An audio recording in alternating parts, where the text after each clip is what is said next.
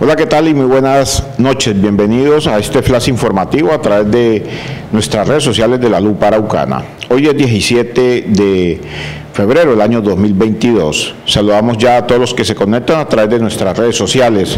Ayer no pudimos emitir el noticiero por una falla en la energía que se presentó en el alimentador número uno de la empresa de energía Arauca, Enelar. Y de inmediato vamos con las noticias que se han generado en las últimas 24 horas en esta región del país y un nuevo secuestro se presentó en el municipio de Tame. Familiares de la víctima hacen un llamado a organizaciones internacionales y también organizaciones de derechos humanos para que se busque una pronta solución y así pueda regresar nuevamente Claudio Eregua a su seno de su hogar. Los familiares del señor Claudio Eregua, secuestrado la semana pasada en el municipio de Tame, le hacen un llamado a todos los organismos internacionales para que medien ante el grupo que tiene en su poder a su esposo y lo dejen en libertad. Pues la verdad no es eh, conocido mucho apoyo de, ni de la Defensoría, ni de, ni de, la Cruz Roja, ni de la Fundación de Derechos Humanos.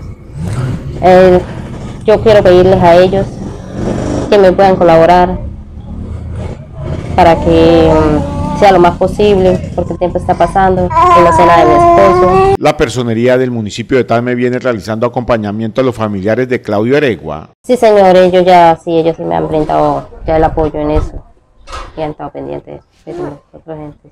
La personería del municipio de Tame viene dialogando con los líderes comunales de las diferentes veredas con el fin de dar con el paradero de Claudio Aregua. Pues la única respuesta es de la personería. El personero me dijo que ya está junto con el presidente de la vereda y de, distrito, que distrito es el Flor Amarillo, con los presidentes de las veredas.